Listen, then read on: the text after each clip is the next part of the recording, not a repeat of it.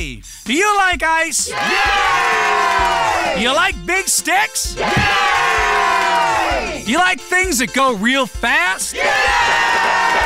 Then you like hockey. Yeah!